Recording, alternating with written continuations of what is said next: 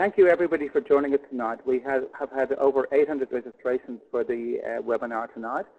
Uh, we have an interdisciplinary panel discussion uh, on a collaborative approach to supporting people with coronary heart disease and depression. My name is Michael Murray. I'm a GP in Townsville with a special interest in wellness and psychological medicine. Um, our panel tonight is, um, is eclectic and talented and covers many different disciplines. Uh, Rob Grenfell is a um, GP who, near, who practices near Horsham in Victoria. He has a special interest in heart disease as well as being a rural doctor and is well valued by the Heart Foundation for whom he consults.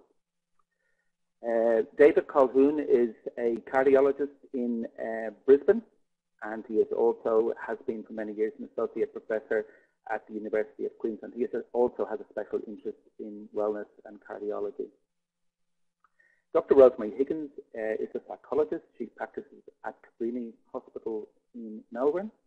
She is a senior research fellow um, at the Heart uh, Research uh, Foundation. And lastly, we have uh, Nick Glozier. Uh, Nick is a uh, practices at the RPH in Sydney. He is associated with the Brain and Heart and Mind Institute um, in Sydney, and he is a professor of psychiatry.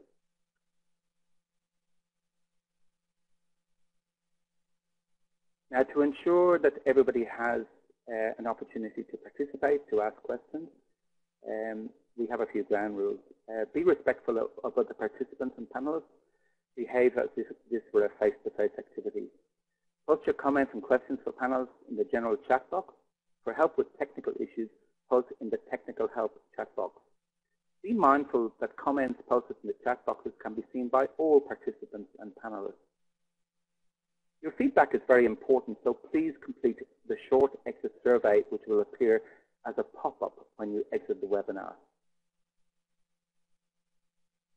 We have some learning objectives for tonight. So through an interdisciplinary panel discussion about Sheila, you will have received the case study and read it.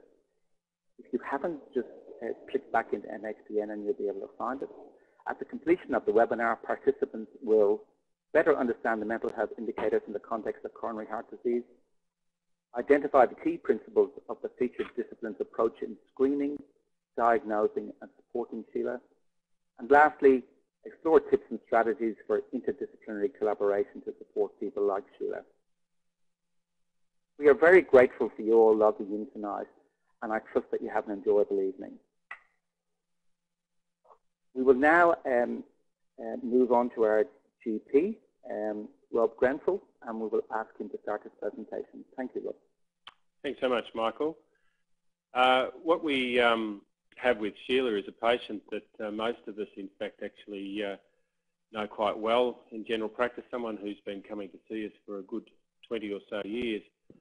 But the, the thing that strikes me first about uh, Sheila is uh, how uh, stoic she is, and in fact, actually how she tends to be using her intellect uh, as a cover and sort of patients actually pretty resistant to complaining about things and uh, when they do complain about things it's a matter of uh, well how sick are they? And the question that I always ask uh, with a patient um, coming to me with uh, these types of problems at the beginning is um, what am I actually missing? And the um, the thing behind that as we read through this case is, is that obviously from a general practice that sometimes familiarity means that you actually do miss a lot of those cues because, again, a patient like this is a, is a real relief to see uh, in most of your days because they're, uh, will give you an intellectual conversation. You'll have a lot of things to talk about and you may, in fact, actually be uh, outfoxed by them and not talk about the type of problems that she's really got or she may downplay those and be more interested in talking about other things. So thank you, Michael. We'll go to the next slide.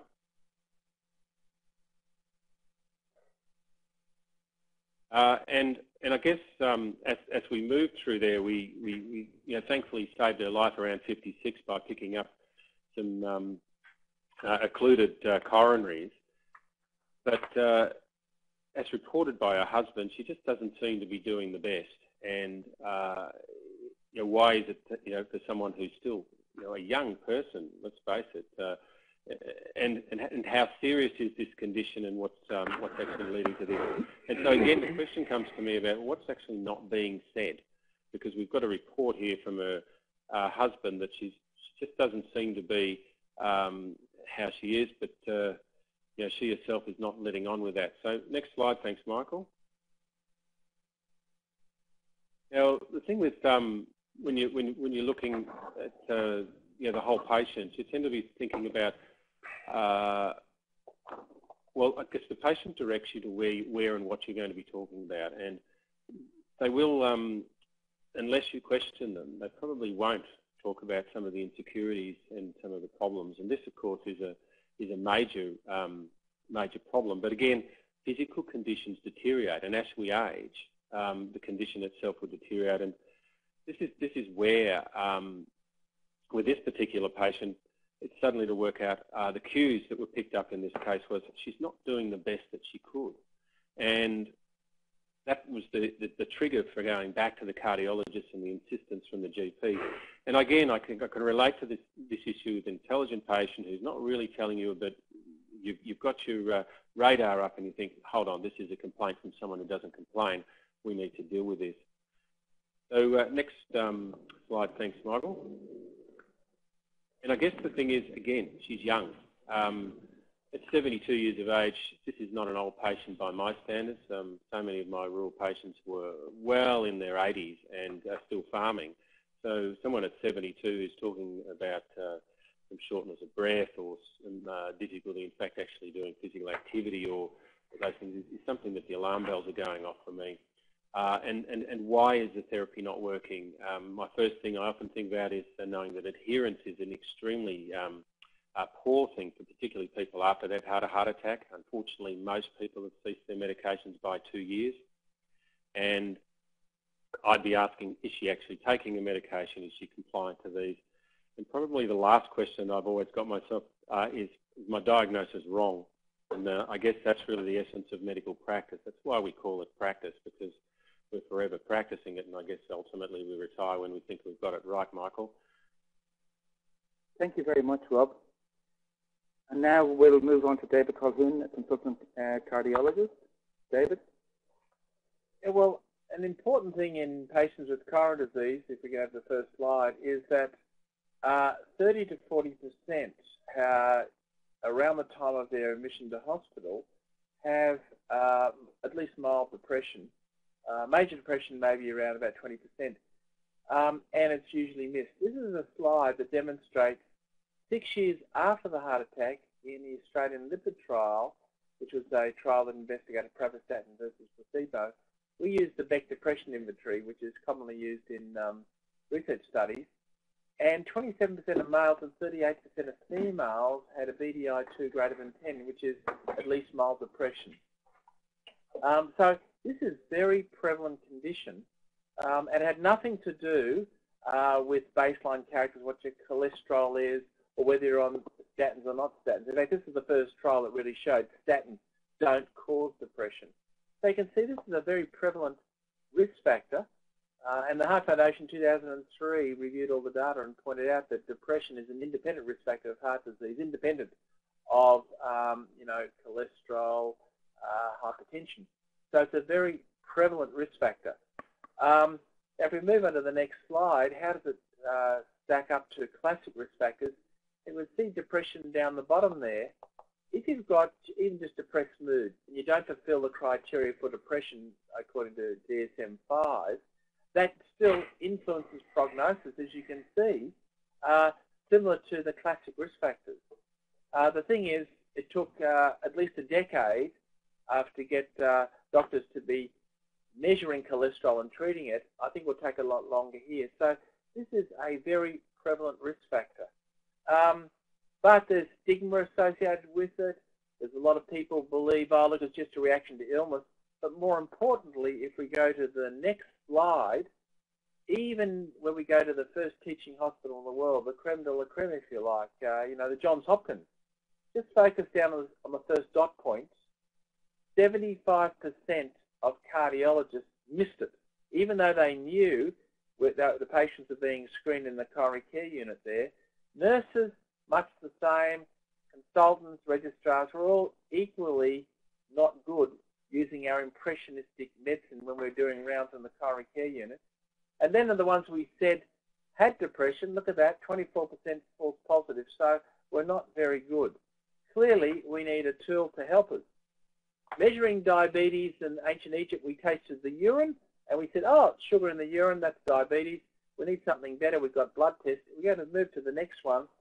The Heart Foundation, following the example, next slide, the example of the American Heart Association, we reformed our uh, stretch working group, and uh, Nick is part of our group, Nick Glozier, and we agreed with the Americans that a screening tool that gets the ball rolling, the PHQ-2, the Patient Health Questionnaire, these two questions here, really simple. When you're using the Patient Health Questionnaire, the two questions, it's over the past month. And anyone can remember this. Have you often been bothered by feeling down, hopeless, or depressed? Yes or no? During the past month, have you often been bothered by little interest or pleasure in doing things?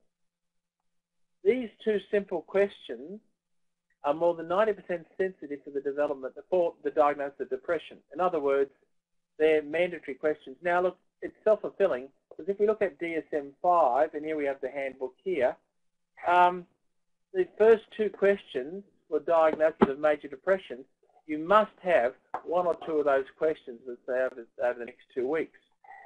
Um, and then you need four out of five of the other questions. And what are these other questions? Go to the Heart Foundation website. Here it is here. We can see on the camera. Uh, this is on the Heart Foundation website. And you can, if you want to do, look at all the other questions here and score if you like. Um, and our patient here, poor old um, Sheila, she has Probably, if we ask her directly, she says yes to probably both of the above. And she's also got trouble sleeping, feeling tired and worn out. And shortness of breath is frequently a cause of, uh, is related to depression. The next slide is this very simple screening tool, which we all can remember, or questions rather than a tool. Um, it has prognostic information. This is from the uh, San Francisco Heart and Soul study. We can just go to the next slide. Just saying yes to either of those two questions has a major influence on prognosis. Saying yes to either, 55% greater cardiovascular events over the next uh, six-year follow-up. That is very powerful prediction. Now, a lot of the, the uh, uh, depression is accounted for by smoking, non-exercise, all those other things, and non-compliance. But that's very important predictor that we need to do something. Now, how can we do it? Next slide those two questions we're introducing into our hospital, uh, the nurses put the stamp on. Okay, so right. it's there. Rather than stamps as someone at risk of DVT, this is far more important. The nurses love uh, uh, uh, this idea of doing the screening because they do it anyway. They do it when the patients are going to rehab. Let's do it formally there. And that highlights to the doctors and anyone else this patient uh, may be at risk of depression needs to have further follow-up. So I think I might stop there, Michael, because uh, from the cardiologist perspective, depression or low mood is frequent, frequently missed, and it has important prognostic information there, and it's as important as diabetes, hypertension, and hypercholesterolemia. Thank you very much, David. That that sets the sets the tone for the rest of the evening, I think. Now we'll just hear from our psychologist, Rosemary. Uh, yes, Rosie. I just want to firstly thank the um, cardiologist for measuring depression. That was brilliant. Now, Sheila's presenting with some worsening health issues. She has that reluctance to bother the cardiologist that um, Rob was talking about as well with the GP, fear of the emotional impact of further health issues, some anxiety and panic, grief, free loss of strength and ageing, some positive response to the depression screen and symptoms which, you know, depression symptoms, cardiac symptoms, other symptoms, also sleep problems and low coping self-efficacy. She's not sure if she'll be able to cope. Then looking at it, the precipitating factors for why now, their husband has retired, that retirement of a spouse can create quite a lot of pressure.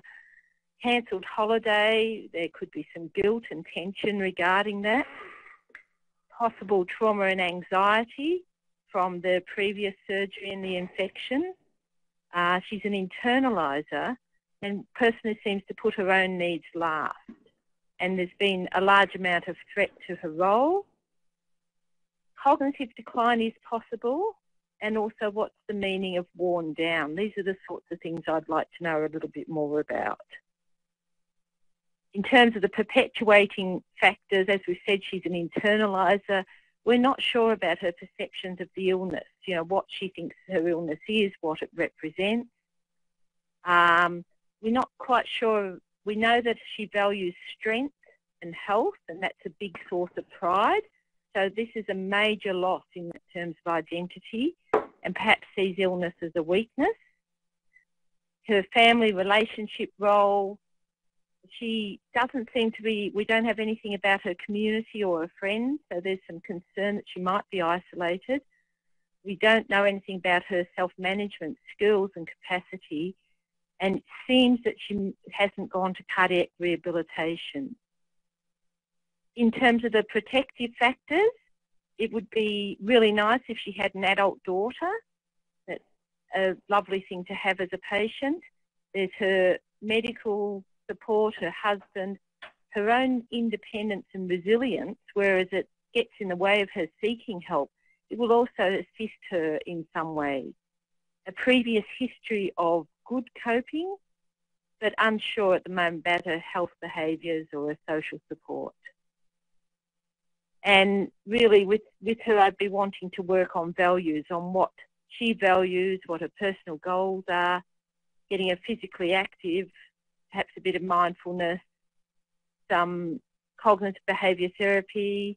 But I'd really like to get her into the cardiac rehabilitation and get some group support going and possibly some sleep intervention, maybe self-management support or empowerment.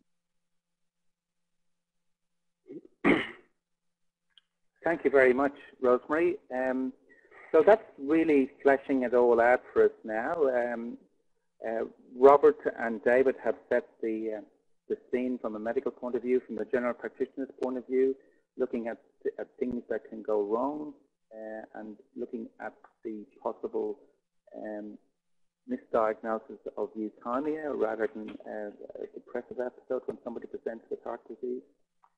Uh, and Rosemary has looked at the factors, uh, the protecting factors and the precipitating factors and the perpetuating factors. And now we're going to move on to our psychiatrist, Nick. And um, we'd like to hear from you now, Nick. Thanks. Okay, thank you very much. Um, so the role of a psychiatrist in this is uh, I see very much really about um, supporting the general practitioner in the primary sort of pivotal management of someone like this um, and potentially being there as part of a stepped or collaborative care approach to managing someone like this and also potentially helping um, the psychologist as well. These are the people I see very much as the first line and we really psychiatrist's role is very much for um, information, advice, and potentially if things don't go well or there's a failure to improve. So on one level, you know, people may like a diagnosis confirmed. Certainly, of course, you've got the, by the time someone actually agrees to come to see someone like me, they have taken on board the idea that they may or webinar. they may have a, um, a psychiatric or psychological condition. Now, in many of these cases, many of her symptoms could be both anxiety or depression or the mixture of the two of them. And I think actually the difference is moot at the often at the, at the, at the initial level. Um, I think what, what we would probably be doing is looking at an initial one-off assessment to provide advice, a kind of sort of 291 or 296, and actually examine what kind of uh, treatment that Sheila and or Hugh um, would prefer, whether we can go to um, a sort of time-limited treatment for um, problem-solving, CBT, interpersonal therapy, or medication, or both, as well as some other treatments I'll talk about. Interestingly, although in this particular case I would advocate taking a patient or couple-centered approach, given the background, some of the data shows that bringing the family in actually can be negative at times, um, potentially to do with stigma. So if you could move on to the next slide, please. So if we confirm that she's depressed, or it's obvious, uh, and uh, one of the areas we'll be looking at is actually extending the PHQ-2 into the PHQ-9, and uh, those tools actually make psychiatrists diagnose better as well than when they're allowed to do things just off their own back. Um, you can look at what are the kind of treatment recommendations. And I think the, the one that actually has by far the most evidence behind it, the best evidence, is actually exercise. So everyone's talking about behavioural activation and exercise, and people might we might have to help address a how that happens, and b potentially her fears about that of how one might start that and tailor that to her. Then, as I said, you've got to talk about the potential for sort of more focused uh, antidepressant treatments, be that both medication or time-limited psychotherapy. And access could be an issue for the psychotherapeutic um, interventions. Um, I've done a trial actually showing that some of the internet-based um, psychotherapeutic interventions are not as effective, but they are effective and they're free and they, they are readily available if people can't get to see a psychotherapist or other um, treating clinician in that way. Um, if you do go down to the medication route, then I think it would be very important to actually um, treat this in a, in a very sort of standardized way, keeping track of her symptoms, keeping track of the side effects, particularly any of the more severe side effects, and very much looking at adherence. As Rob said, I think adherence, compliance, concordance, really, really important. People who are depressed are three times more likely to be non-adherent than people who are not depressed. It's a really big issue. And again, we can use other, other parts of the health system as well, so sessions with an exercise physiologist or dietitian to help in addressing diet and other well-being factors. Next slide, please. There's another of symptoms, and others have highlighted the idea of, of, sleep disorders. So one of the areas I'm particularly interested in is actually treating sleep disorder and evaluating whether it's an insomnia she has, whether we're looking at some kind of phase advance, i.e. people whose phase system, their body clock becomes out of kilter with their environment, um, and actually treating this specifically.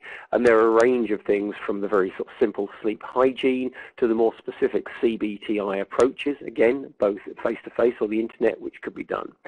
Um, I wouldn't necessarily be going down the benzodiazepine route, and if this is a problem, one might consider some of the more sedating antidepressants if required. We talked about the psychological impact, her role change from a coping carer to, to what is she now, where does she see herself, and all the aspects that have been brought up earlier on. I think the fatigue is an interesting issue. People have flagged up the idea, well, what is the cause? Is this some heart failure? Is this depression? Is there something else going on? Is there another? Is this a result of sleep disturbance of some cause? And again, with someone who's expressing some health anxieties, you've always got to balance those issues around how far do you investigate versus good history taking. And continual investigation can actually exacerbate people's health anxieties rather than um, rather than actually making people more reassured. You know, the, the classic, I don't think there's anything wrong with you, but I'm just going to do a brain scan just in case. Um, next slide, please. Uh, we've already we talked about very much the family concerns and particularly the husband's concerns. Uh, you know, what is what are his concerns about her illness and what the impact might be on there. Looking at diet, uh, looking at enjoyable activities. This is someone who's been a coper and carer all of her life. And what things does she want? What does she actually want out of treatment? What does she want to achieve in her life? As everyone said, she's still really quite young family involvement. And one thing I'd be quite concerned about with, with this woman is just checking her cognition. I'd do a mini mental state exam or get ask someone else to do that, particularly early on. Um, there's qu quite likely if she is depressed and potentially with a cardiac history that she has some uh, cognitive impairment. But I'd be interested to see whether this improves as her depression and cardiovascular risks are addressed, or whether there might be something underlying um, her cognitive, some underlying cognitive dysfunction that may be driving some of her anxiety and concerns. Um, and the other area, um, particularly if she's technically literate, is we're using increasing amounts of the measured self. You know, sleep and mood diaries, sleep applications, sleep cognitive cognitive training through things like Lumosity, the use of pedometers. So really getting her engaged in our own health management. And that's it, I think, for my, my particular aspect. Thank you. Thank you very much, Nick. So we've gone through the four panelists. Uh, we've had the setting of um, the general practice um, um, aspect, the specialist aspect, um, specialist cardiologist aspect, the psychologist arthritis. We're now going to move on to the panel um, conversation start, uh, discussion. And I did note uh, that there was a question from one of our attendees, John Clark, where is the exercise physiologist? And that leads me on to ask Rosemary to, uh, you were concerned, Rosemary, that, um, that this patient hadn't um, been for cardiac rehabilitation and you had some questions to ask around that. Yes, um, many patients do miss out on cardiac rehabilitation and, and that is a concern. Um, cardiac rehabilitation is very good for mobilising patients and it also explains and talks about emotional health as well as physical health. They can get access to all the health professionals and they, um, there's enough evidence to say that it, it does help, it does assist. And I think that Sheila, had she gone to cardiac rehabilitation, would have early tackled the exercise and got a lot more confidence and maybe that would have helped her with her mood issues as well. And Rob, from your, from your consulting with the Heart Foundation, what would be the main reason why somebody wouldn't be able to uh, get into rehab? Uh, unfortunately, um, Michael, in, in today's climate, only one in four heart attack sufferers actually referred in the first place to cardiac rehab. So the problem begins at the hospital. And some of our therapies, of course, are lasting uh, you know, two, three, four days at the maximum, and uh, sometimes they're patted on the shoulder and said you're fixed um, after a stent's been put in, and so they, they're not even encouraged from the care team in the hospital. That's something that, from the Heart Foundation's perspective, that we're, we're trying to address from the health professionals. The, the next challenge, of course, is when they turn up to you in your general practice, and I used to play this sort of game, um, how long will the discharge summary take to get to me? Um, and particularly the, the, more rural you are, and I was um, isolated rural, often you'd never, never see the discharge summary, so you, you wouldn't have an idea about where the follow-up was. The next is, uh, is the patient, um, do they think that rehab's relevant? So a young patient versus an older patient, group therapy, if you've got to drive 50 or 100 kilometre round trip to go to cardiac rehab, are you going to go? Um, how does this in fact actually fit into my life um, as to where it is? And probably the other pressing thing is denial. Another patient factor is that um, I'm right now, my symptoms are resolved, I don't need to do this or I'm not going to deal with this. And, and those, are, those are some of the um, reasons why someone won't get rehab. But probably the main one is doctors, we're failing our patients by not referring them on. David, do you have any comments on that? Yeah, well, at the two hospitals that I practice at, uh, we agreed 25 years ago that all patients can be approached, the cardiologist can be approached by our liaison cardiac rehabilitation nurse and every single patient is invited to join. So you don't have to, it's just silly to say you have to be referred. It's a routine thing. Some of the private hospitals, everyone gets involved. Now, I can't say that happens in our public hospitals uh, that necessarily happens that way because they don't necessarily have rehab units. But um, with cost cutting and other things, um, honestly, there's no excuse for it. But let me just say, my colleagues are more interested in doing the high-end, doing balloons and stents and stuff, um, and the patients are in and out very quickly, as Rob points out, and they're focused on this stuff, using the toys, if you like, rather than the long-term things that are very important, the most important to how patients feel about themselves and quality of life. So it's partly the system, but let me just say, all you have to do is get your mates together and you have the meeting, and the nurses love this. They support the patients, and everyone's approached in my in my hospitals for the last 20 something years. Thanks very much. Nick, do you have any comments? Uh, uh, David and, and Robert alluded to it there on the um, the benefits of group therapy via cardiac rehab uh, as against individual therapy. Uh, the, the, the, first comment I have in this particular, and I think we, we heard it alluded to there, is if you want to do things and get and get good treatment across everybody. One of the things we, you know, we, we understand is that some people get stigmatized, certain groups, either through their own denial or because of the way that doctors consider them, tend to not be invited to certain treatments. We know that people with depression get fewer angioplasties and fewer stents despite being a high-risk group. And in fact, they have in, in, a paper I reviewed recently, a longer door-to-needle time in the emergency department as well. So there's a whole bunch of system things. And as they've alluded to, I think something interesting is the idea, if you ask doctors to do things, often things fall through the cracks, really. Whereas when you actually set up systems and you use the professions allied to medicine and it becomes part of their systematic jobs, things happen, systems happen, patients get better care. So establishing those systems for cardiac rehab identification really can work well when the systems are embedded and put in place. Thanks, uh, Go ahead, sorry. Uh, in, in terms of actual the the cardiac rehabilitation, um, the, the actual rehab area is, is, not my my specific area, but I've certainly seen some really good results from group treatments there. And the group can often sort of help break down some of the barriers about how people feel about their illness, the implications, the perceptions, and actually can lead to a kind of sort of group think about treatment, and particularly around behavioural modifications as well, rather than necessarily adherence to medication. Yeah. Thanks very much. Michael? Nick, you had a question that you wanted to ask um, in relation to the issues that, that we noticed between the couple in relation to confidentiality, care, family discord, etc. Could you expand on that, please? The I, I think several, several of us have, have alluded to um, the issue that this is a couple. They share the same GP. Um, there appear to be some imbalances. So, for instance, Sheila has been caring for Hugh for many, many years, cared for the family. She's taken on a specific role um, potentially enabled him to live his to live his life, do other things. He's retired, wants to do wants to do something, go on a trip. That has failed because of her illness. So, so looking at the different roles that the two of them are playing and how those may be changing could be really, really important. And particularly, potentially, some of Hugh's anxieties about what is actually going on with his wife, this sort of stoic, solid, supporting rock who's been with him for so many years and what his concerns might be. And that flags up interesting confidentiality issues. Don't, will Sheila want her husband to know about her diagnosis?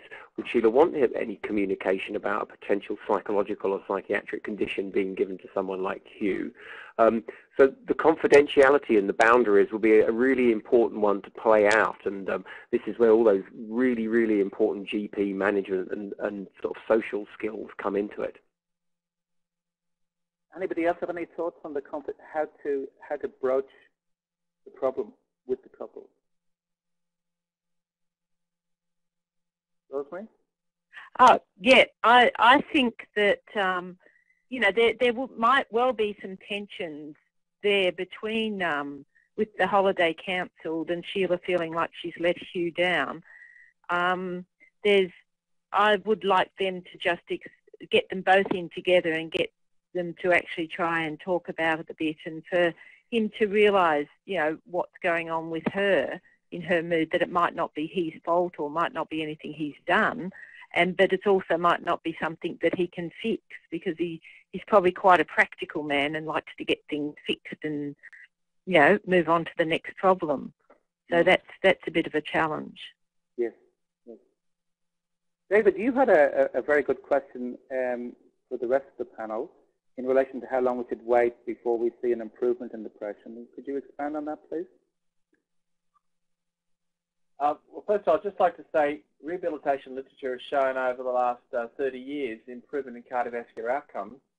And consistent with what Nick said in exercise, only programs that have an exercise component appear to be associated with improved cardiovascular outcomes. We've had two major trials uh, in the last uh, 12 months that have shown improvement not only in depression, but also improved cardiovascular outcomes with the exercise. And, and it appears that exercise, for most patients with mild depression, is as good as a drug. So it's, uh, it fits in with what we've been saying for the last 30 years. But it's good to hear uh, a psychiatrist saying, uh, get out and exercise. I think it's fantastic, Nick.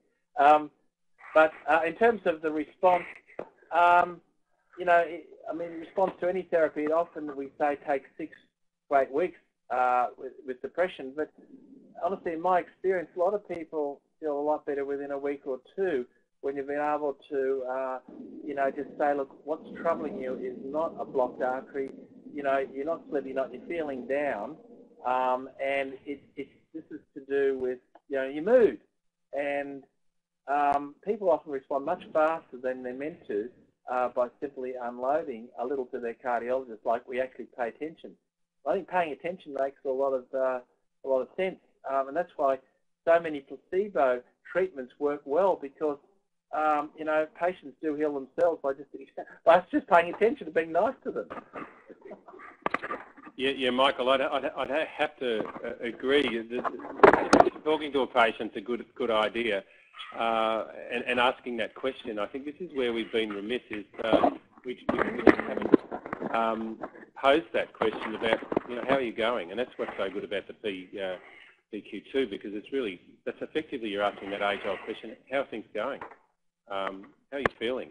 Um, and and and then in fact actually allowing to listen because I think with this case, uh, again, the trust, and I, have been looking at uh, some of the comments that are coming up there. The, the, the trust is the issue. As the GP over 20 um, odd years, uh, you will have that trust, and you will have a fair idea about um, how far you can go with regards to talking the two patients through the issues separately, and then bringing them together. Can I just come in on a, on a comment by uh, David Drummond um, talking about an MI survivor? And I think he, he a very interesting point about how rehabilitation is often short term. And many of the things we see post myocardial infarction, post stroke, is really, really looking at the impact about the polypharmacy, the number of drugs and treatments that people are meant to be on. I wondered uh, uh, with David and Rob how they deal with those kind of aspects.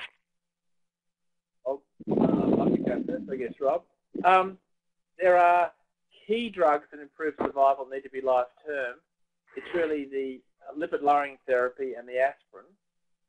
After that, um, only if you have heart failure or some complications. So for the simple uncomplicated infarct, it's the uh, the statin plus or minus the fibrate and the aspirin long-term after the first year.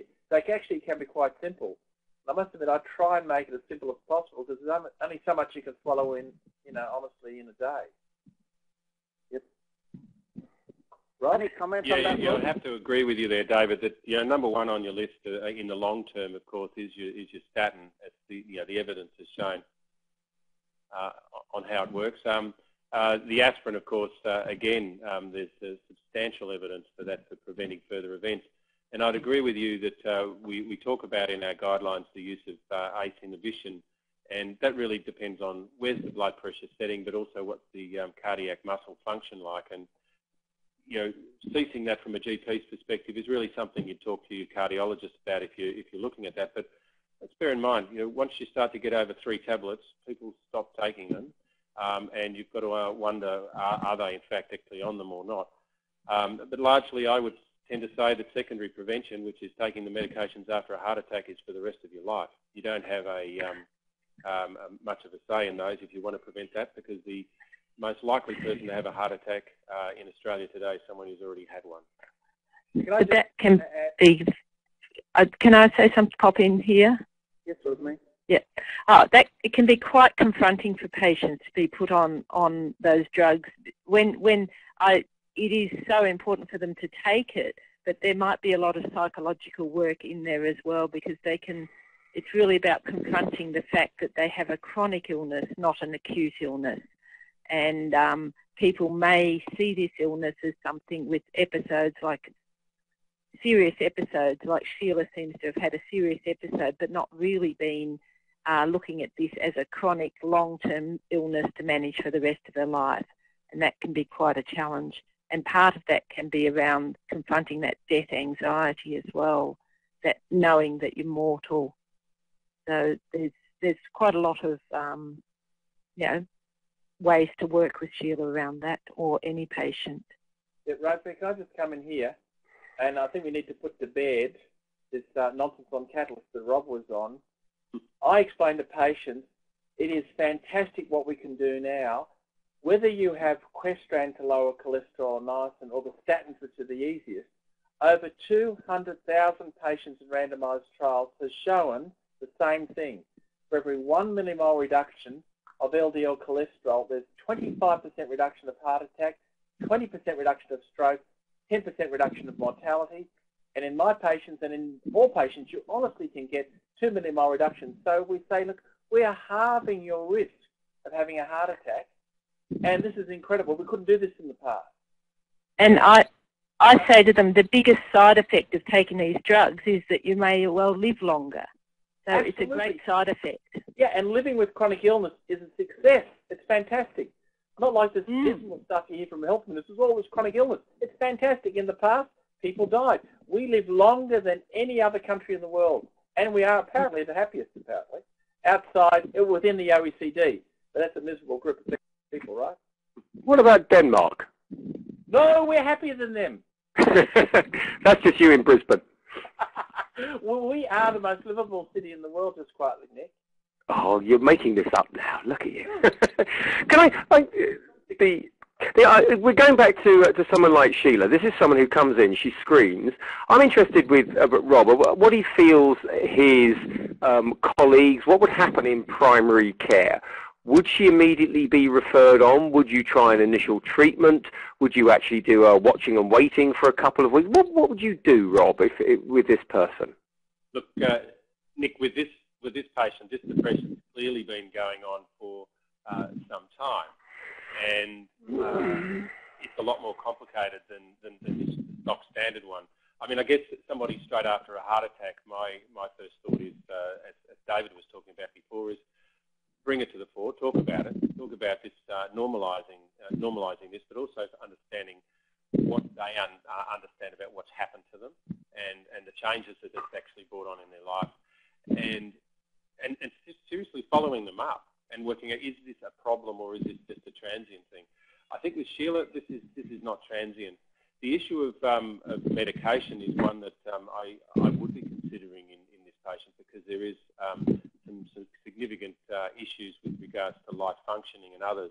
Although, I, I, again, I come back to your uh, point about cognition and cognition testing because we all know that the brain is just a, um, a heart that thinks really because it's, uh, the blood vessels around your heart are no good, the ones around your brain are probably no good either.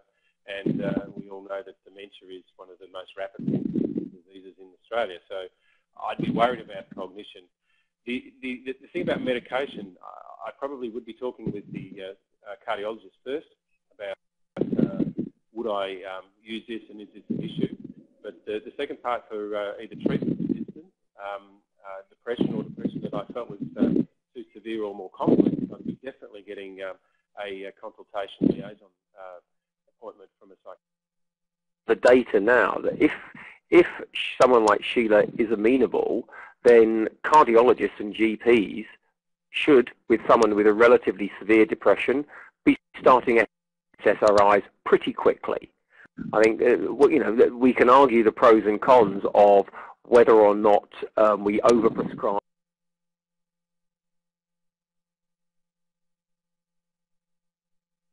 or underprescribe. I think it's more in Australia the targeting of prescriptions. And I think, oh. well, you know, after a heart attack or whatever, it's right to feel depressed. And certainly, I think if you take an approach where they've had it for and you've seen these people and you know what they're previously like and now they've changed and you've seen them a couple of times, you know, multiple attendances with different symptoms aren't necessarily heart, heart condition. And again, multiple symptom complaints would be a real flag for depression. I think people should be starting SSRIs probably quite quickly. We know that they are effective or, you know, they're not magic bullets. They're reasonably effective. And we know that they're generally safe in people with heart conditions. You have to consider what else you're taking. But I'd certainly be an advocate that we should probably be using more of these in a targeted fashion and earlier and by non-psychiatrists. Yeah, Nick, it's David Colquhoun here. I don't know whether I'm on air. You are, yes. Go ahead. Yeah, yeah. I was an investigator in the SADHART trial post-heart attack and we one of the two sites in Australia. And uh, that showed clearly the safety of uh, sertraline and the efficacy above placebo. Um, so it is certainly a safe, safe. There's only 300 patients in that trial, and we almost got statistical significant decreased cardiovascular events over six months. So um, uh, you know, it is. There's no doubt about it being safe. Uh, and if uh, you know you stop, you can always stop later. Uh, you know, and the thing is, we need to screen not just at the time of the infarct, but uh, you know, from Sydney where you are now. Um, as you know, um, Gordon Parker has demonstrated at Prince of Wales infarct patients if they develop depression a month afterwards, that actually is worse prognosis at least in people in Sydney, than people who have it at the time of the heart attack. But yes, too many of my colleagues have dismissed depression. Oh, it's just a reaction to the illness. They're going to get better. Well, six years later, and 30% have got depression still. Rosemary? We've, we found the same at the Heart Research Centre, that it's the, um, it's the later depression rather than the in-hospital distress that is predictive of mortality. So it's really um, not not just the thinking about their distress in hospital, but looking at two months down the track and looking at the trajectory of depression, where the depression improves over time, their distress improves over time, or it gets worse. And we really worry about the ones that get worse or that it doesn't change, because for many people it will improve because having distress early on is probably a natural and normal response to a life-threatening or a perceived life-threatening event. Sure. The, I mean, uh, then you're flagging up something interesting. Can I, can I, just pop in there because there are a few other topics we, we need to hmm. cover before we finish. It sounds as if everybody knows what should be done and everybody agrees on what should be done. Uh, you had a question, Sheila, in relation to uh, increasing the empowerment of Sheila um, to improve self-management. Could you expand on that?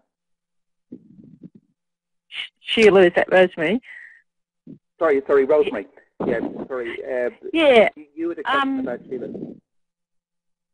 About her, um, uh, her feelings about managing her illness, her knowledge of her illness, and I think it'd be very important to to work very closely with her about her establishing her goals for, you know, for getting as well as she can in terms of whether it's physical fitness or mental health or, you know, social relationships, what it is, and getting her to um, set her goals and working with her to achieve her goals. That's where. So would you be talking about using a combination of cardio and psychoeducation? I would say so, yes. Does anybody else have any thoughts about that, about coordinating that care? I'm just wondering, Rosemary hinted before, it's David here, David Kennedy. Um, it may very well be she's scared to death of dropping dead, and that's why rehab units started up in the 60s and 70s by the Heart Foundation, because they're absolutely scared. They're in bed for, you know, two or three months, and the doctors, everyone kept them in bed. Uh, you know, it may be very well underlying this, as Rosemary hinted at before, she's scared to death of, uh, you know, a catastrophe around the corner, and I, I guess that needs to be explored. And this lady who's a very competent lady, she's a retired professor of art, so she's no dill. And it could be also that the husband's scared to death of her dropping dead and he's restricting her as well and doing, we, are not quite sure what's going on, who's where the anxiety is. Yeah, so would the existential therapies be of use, do you think? I believe so, yes. I think it'd be very important to um, get her to talk around, you know, what the values that she has and how she um, thinks about her life, what she's achieved, what she's created, what the meaning is.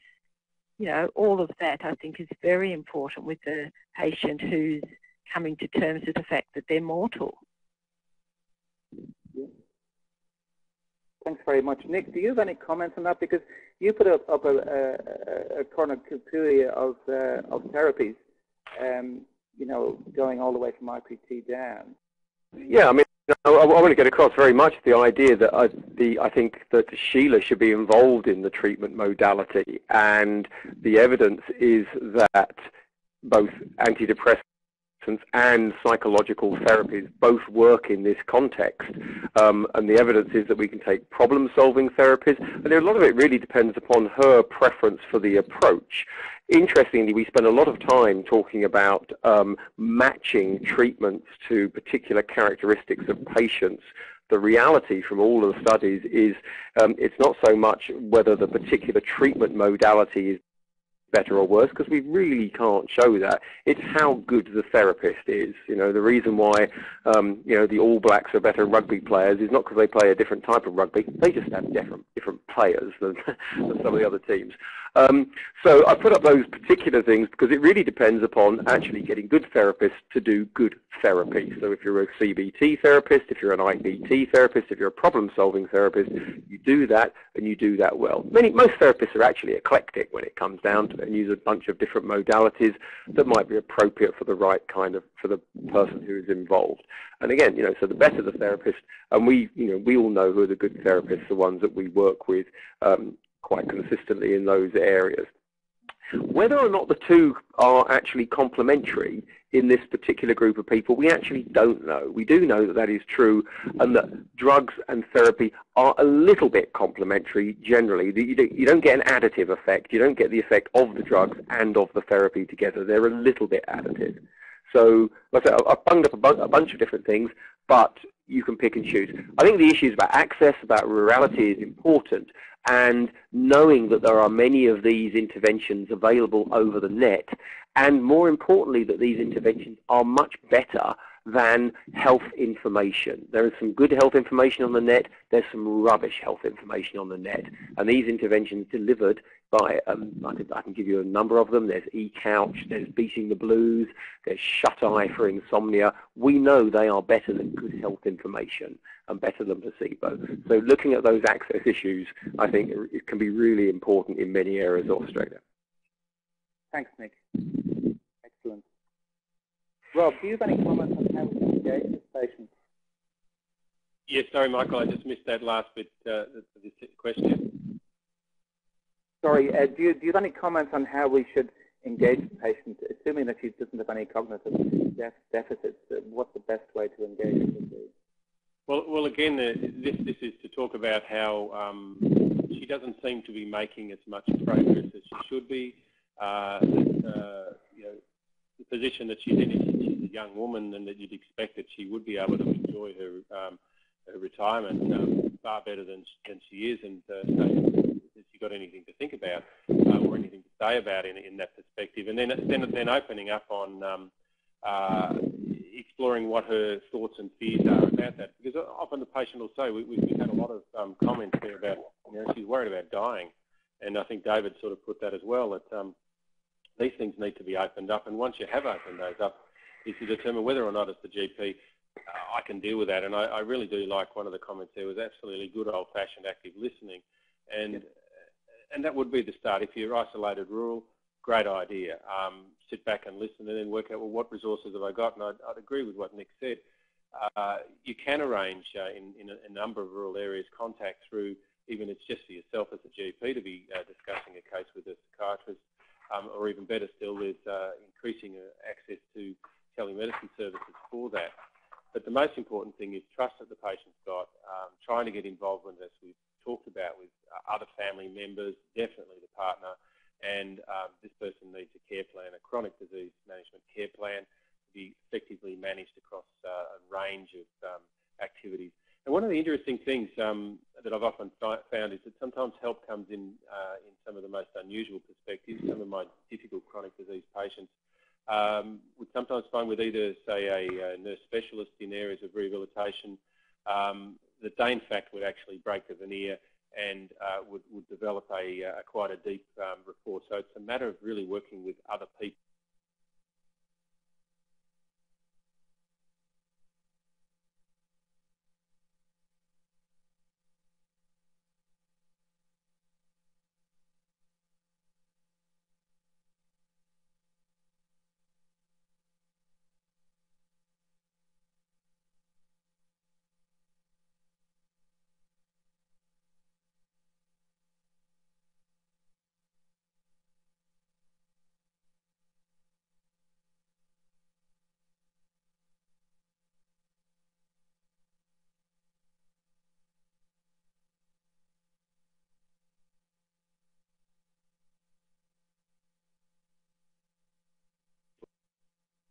in, in, in having these patients come back to see you for a six-week check, say? Are ah. they still depressed in, in general? Uh, well, it's the quick screen in hospital, but the real screen for me is the everyone who is under me in hospital sees me four to six weeks afterwards, um, and we get an appointment before they leave, uh, and that's usually where where you know things really really move because almost always it's with their spouse, Um, now, some feel a bit better, some don't. Um, but, you know, I usually do the PHQ2 then. Um, and, you know what, the thing is, and Nicola, I'm sure, and others will say, look, it's not important which treatment you use for depression as long as you use something. And we've got long-term follow-up. You know, people feel better with, obviously, with the treatment of depression, whatever you use, go for a walk, uh, you know, use your SSRI, uh, cognitive therapy. Um, but that does lead on to increased compliance of everything else we like people to do. And those who get better, irrespective whether it's placebo or whatever, they have better cardiovascular outcomes. So um, it's uh, I haven't quite answered your question, but it's just part of the routine asking questions. How are you going today? Look, it's a routine thing over the last month since I saw you. You're feeling, been bothered by feeling down or hopeless or, you know, and then I, you know, and, and then we ask about, uh, you know, pleasure in doing things. Um, so it just sort of rolls off. I know it's called formal PHQ2, but that's only just to make sure that we think about it. But, um, you know, it is surprising how subtle it can be, and males can, can disagree, and you see the wife saying, rubbish, you know, like, yeah. they sometimes just don't want to talk about the male. Thanks very much, David. Now, as usual with MHPN webinars, they fly by. The time has sped. We're coming towards the end of this webinar. I'm now going to ask this excellent panel um, to sum up their message in two and a half minutes each, each panelist. We'll start with you, Rob. Great, thanks, uh, Michael. Again, um, I'd be first looking at uh, recognizing the problem, uh, and that really means looking at yourself as a practitioner uh, and um, using that, well, I guess the sixth sense, why aren't things getting better? Why are things getting worse, and what else is going on behind the scenes?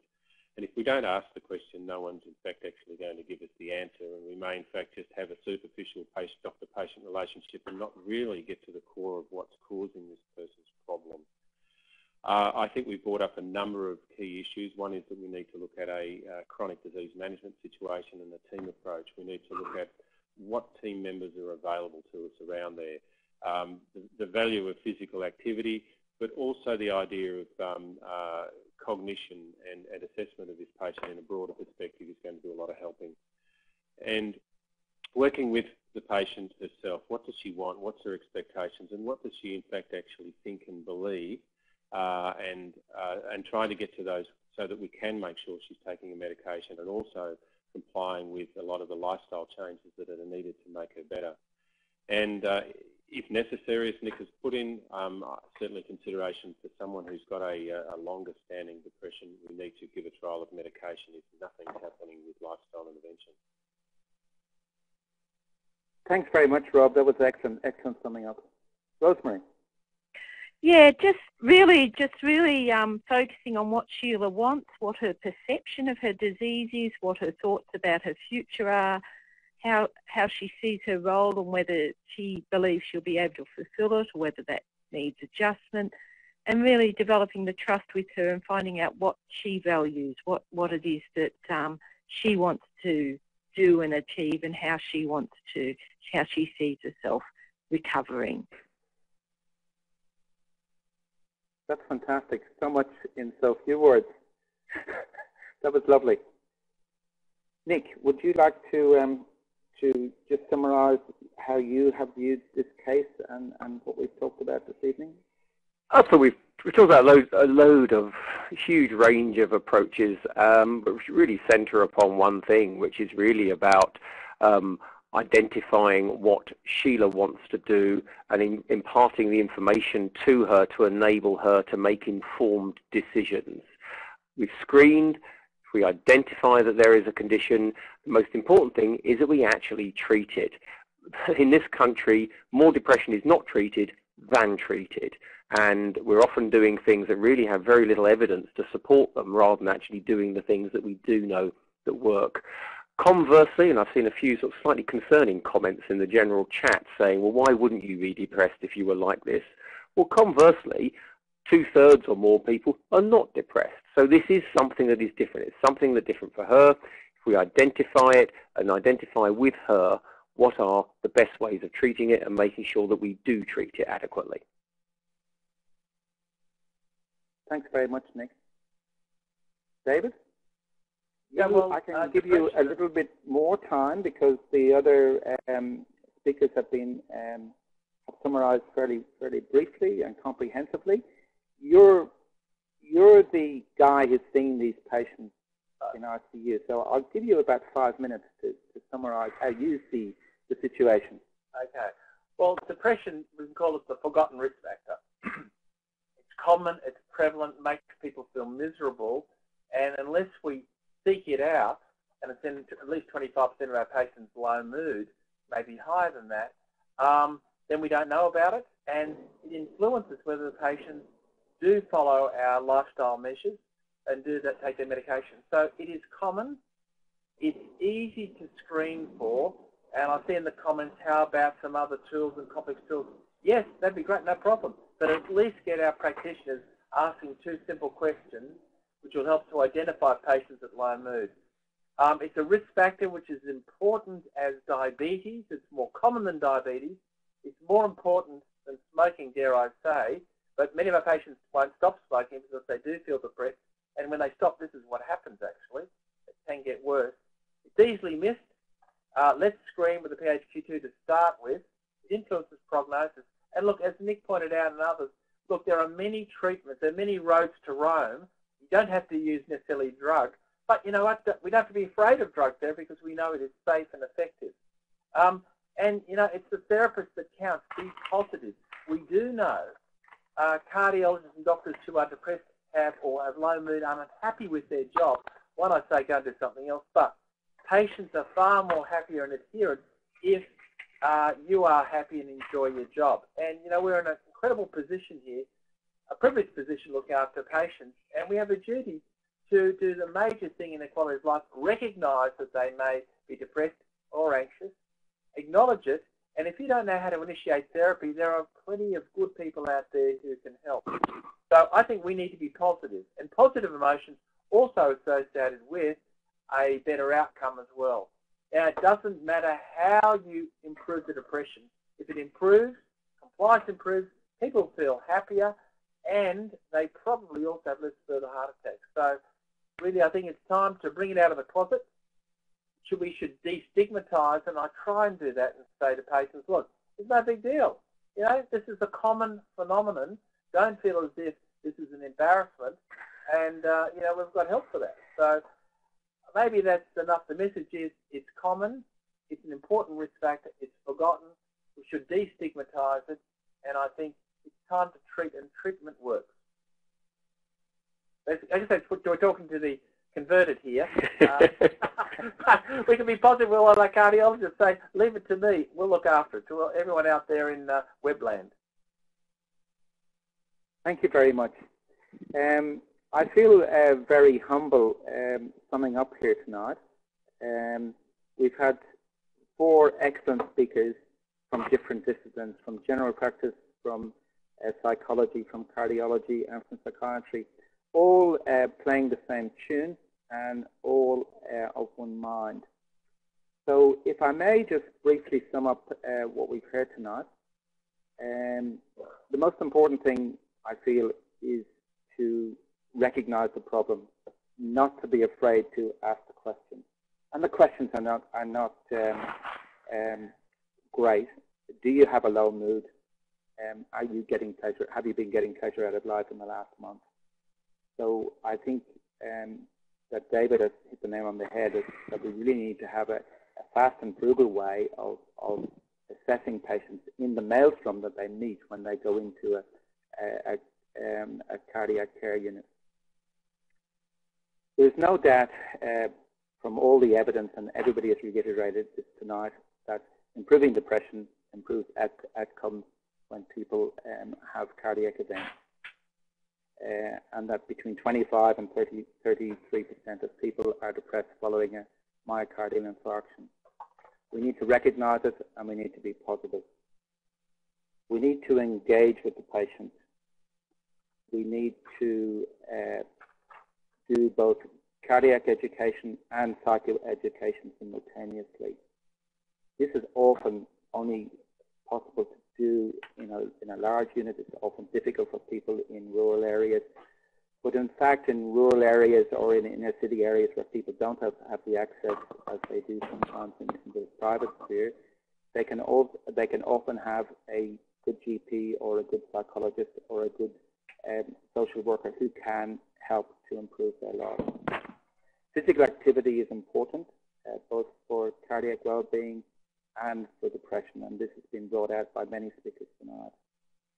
The team approach, of course, is very important, and that's what MHPN is all about, coordinating conversations between different team members and improving outcomes for all of our patients and clients through team activities. Uh, Nick made the point very well that we need to screen and treat and recognize that our treatment does have positive outcomes and that it's not that it, it isn't difficult. And no matter what the therapy, it often comes back down to you, our attendees, the therapists, uh, who make the biggest difference to our clients and patients' outcomes. I thought that uh, that Rosemary's um, contribution was was fantastic. And she talked about those real-time things that we all talk about with our patients and clients, what their perception is of what's happening to them, what how they see the future, and how the patient or client sees their role in things, engaging with the patient, and finding out what their key values are, and engendering a sense of trust um, with the patient. So all in all, this has been um, a very valuable night, I would hope, for all the attendees. Um, certainly, I have very much enjoyed the expertise that has been on show tonight. I would ask all attendees uh, to please ensure that you complete the exit survey before you log out. It will appear on the screen after the session closes. Certificates of attendance for this webinar will be issued in four to five weeks. Each participant will be sent a link to online resources associated with this webinar within one to two days. This is our final webinar in 2013. We thank you very much, uh, many of you repeat attendees, and I see the names coming up time and time again, uh, for attending. It is you who makes this, um, these sessions good for our clients and patients. Um, if you wish to keep up to date with upcoming uh, webinars for 2014, please go to the upcoming webinars and hash app slash after uh, you log into mhpn.org.au. Once again, I would like to thank everybody from um, MHPN. I would like to thank all our attendees, and mostly uh, and very importantly tonight for our very, very talented uh, presenters, David Colquhoun, uh, Nick Glozier, uh, Rob Grenfell, and Rosemary Higgins. Thank you all and good night.